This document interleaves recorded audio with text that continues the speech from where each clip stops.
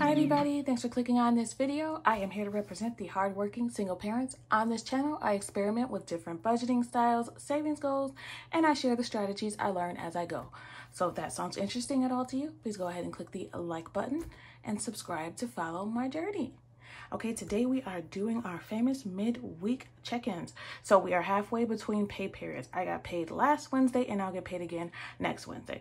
Today we're just gonna sit down, we're gonna look at our budget to see what we have left in the bank accounts and in our cash wallet. That way we can make sure that we are still on track, make sure our budget is in line, and make sure we have enough to pay the bills that have not yet come out. So, and if we need to, now would be the perfect time to rebudget. So I've gone ahead and looked at my bank account. That's the first thing that I like to do. Although I'm monitoring it all the time, I'm a little obsessed over it.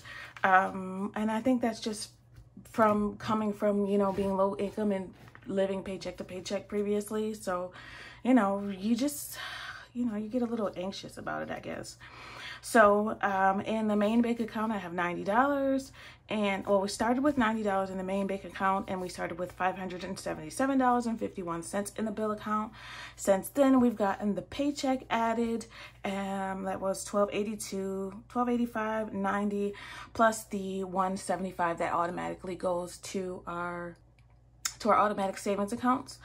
Um, but that's not included in here, of course, because those are savings accounts and we have so far spent $804.66.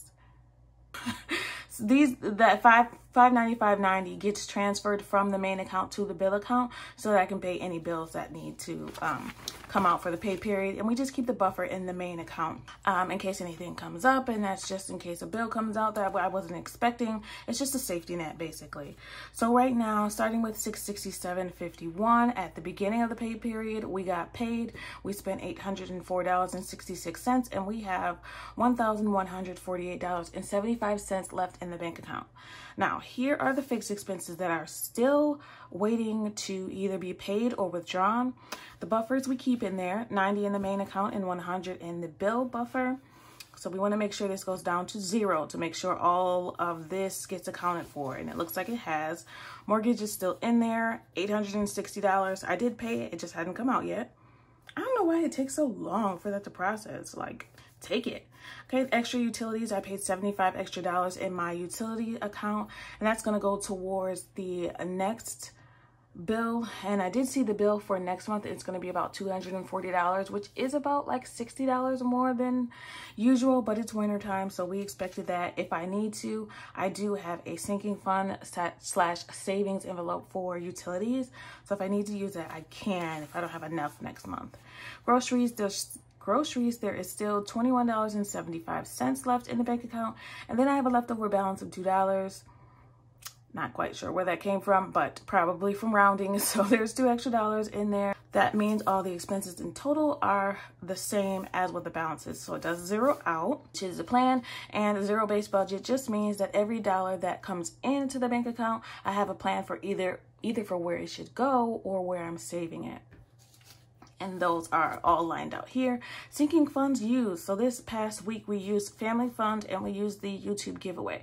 You guys saw me on payday take out that seven take out that $17 and that was to pay for the um, binder that I gave away. So I gave away a savings challenge binder that cost me $17. So I took that money out so that I could pay back um, the card that I used to pay for it and family fun we spent $36 we went out and we spent $36 of that family fun on entertainment so it leaves a balance of $84 in the family fund and for youtube giveaway there's $28 in there um, I didn't add anything to it with the paycheck that I got yesterday. So if you haven't watched that um, YouTube income video, make sure you take a look so you can see. I, I, you know, I had a little rant in that video. So if you want to watch that, please do. And I hope nobody takes offense to it. It was not shade. It was just literally, it, I had to get it off my chest.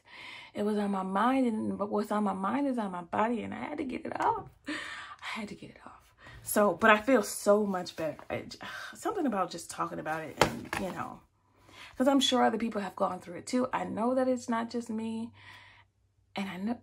Anyway, all right. So for for our cash categories that we stuffed on payday, which was the 17th, we, um, let's, let me show you that budget so I can show you where it came from.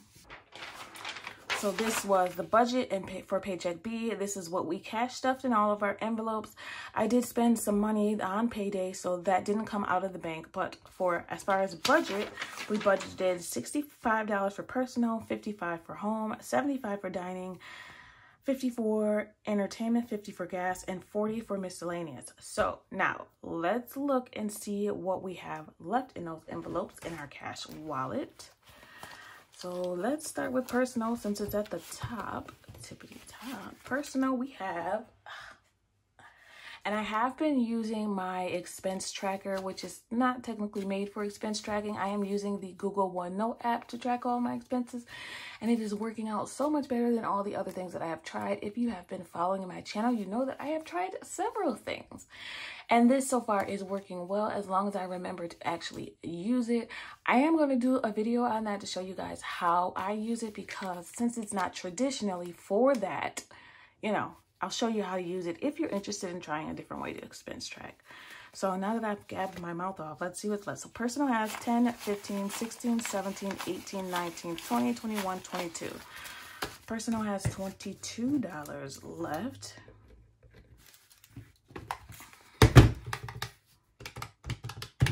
means we spent $43. Home, let's see, home has, started with 55 25 26 27 $28 left in home. That means we spent $27 from home, not bad. Okay, dining out. I already know that has nothing. Entertainment started with $50 and it has 5, 10, 15, 16, 17, 18. It has $18 left. So what we did this week that was really fun, I said $17. Oh, that's zero. So we spent $75. That's it. Look, look at me. Look, look, look, look, look, look at here. 5, 10, 15, 16, 17, 18. There's $18 left for entertainment. So I, we did some fun things this week. I'm trying to get us to do some more fun things because that entertainment budget was just sitting there. You know, we weren't spending out of that really, but I, I want to make sure we do something fun either every pay period or at least once a month because, you know, that's the point. It's the point to have some money to live life a little bit. So we went to two new cool places. So we went to something called uh called K K-pop. I think it was called. So it's a Korean place where you basically you cook your own food at the table. And I was like, that is so dumb. I can do that at home. But it was really fun. So I had to try it at least once. It was really fun. I I I hardly ever complain about food, but I did not like the food. And I was texting my friend and he's like, How you didn't like the food? You made it. which is very true but there was no seasoning so that was not my that was not i did not like the food but i had fun with my friends so that's all that matters and it was an experience so um, if i go back again i will uh i'll be a little ghetto and i'm gonna bring me a little little thing of seasoning or two, maybe a couple spices, maybe if I decide to go back. But I want to try something new every two weeks. We have um, some of our friends, they've been friends for a really long time. We base They're basically family, so we just call them family. Um, we're going to do something with them every two weeks. So every time I get paid that Friday, we're either going to try a new restaurant or something fun. So that is a plus, especially in the wintertime because we know how that can be. So for gas, let's see what we have in gas. Oh, and then we tried another place. Look, I'm getting ahead of myself. We tried another place, $50 left in gas. Um, we had, my daughter is really into this Korean thing, and so is my friend's daughter. so, um, which my friend's daughter is my age. So that's what we have been doing. So it's called a Korean corn dog. So if you don't know what it is, it's like a corn dog, but not like an American corn dog. Like wrapped in like cheese and then they put like Cheetos on top of one of them. Oh my God. I was like, I don't even like American corn dogs, but this corn dog was so good. Y'all know I had to pop one of my little laxative, my, not laxative, whoa, whoa, Lactaid pills. one of my Lactaid pills so that I could enjoy it, but it was so worth it. It was so good. It was so good. And they were only like $12 for, it was like $6 each. So I thought that was great. And then they have these like donut things that are like fried dough, but so much better. Ugh. I don't even like American donuts either, but this was so much better. It was like a level up of everything. But so if you have not tried it, I suggest you try a Korean corn dog if you have one in your area so good. And it didn't taste like a regular like a hot dog because ill it was like a sausage kind of but i mean i don't know how much farther from ill that is but a little bit it's a little bit. Okay miscellaneous let's see. Miscellaneous has one two three four five six seven dollars left. And we started with 40 i believe Yes, miscellaneous has $7. That means we spent, let's see if I can do math in my head, $33? Uh, I did it. All right, so we started with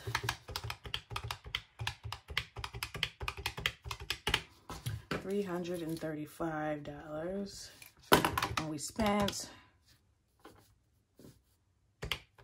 is that a seven?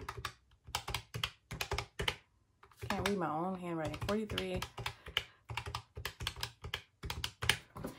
Oof, we spent $210 already. And we have remaining. We have $125 left. So that's in the wrong line. No spend days. I don't know. I do keep track of it on my um my tracker for my planner, but I, I, I don't know off the top of my head right now. So variable spent $210, variable remaining $125. So not bad. $125 left is good. I know that I'm going to put that $50 into my tank, at least half of it. Right now we're at half a tank. Um, so we'll probably use half of that to put in the tank. Excuse me. If gas rolls over, I am going to put that towards the um, gas and grocery sinking fund. Uh, I'm gonna keep, I'm gonna start doing that with any gas rollover just because in the summertime, I know we're going to be using more. I also want to bulk up that family fund because again, summertime is coming up. So, you know, I don't want to be like, oh, I don't have enough money for that. I don't want to be that person. So, you know, we want to go here and there. I love summertime. So I want to be able to do all that good stuff. All right, so let's put this back in the wallet we have one more week to go. And we have some money left. So i'm very happy about that. So besides the gas we at least have 75 dollars left. Personal still got money. Haven't really spent that. And entertainment still has money. The only thing we blew all the way was of course dining out. So there will be there will be no dining out this weekend. I'm gonna put this in here just to remind myself like girl you doing a lot. Don't forget to like and subscribe. If you're not subscribed yet if you liked it if you if you watched the video and you enjoyed it and you want to see more of the videos please make sure you like and subscribe so that these videos show up in your feed more often.